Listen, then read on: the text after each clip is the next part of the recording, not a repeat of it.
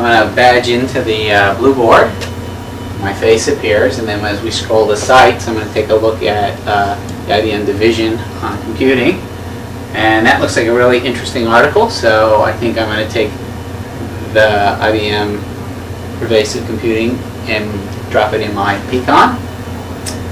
And then I'm gonna check my uh, calendar and see what I've got going. It looks like there's a holiday party going on.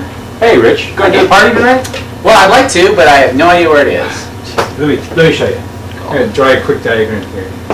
Say, this is 85, all right?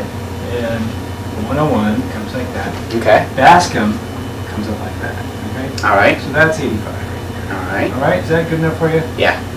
And it's on Bascom? It's on Bascom, so it's right up there. Great. And I think I need to take this and email it to myself, so excellent.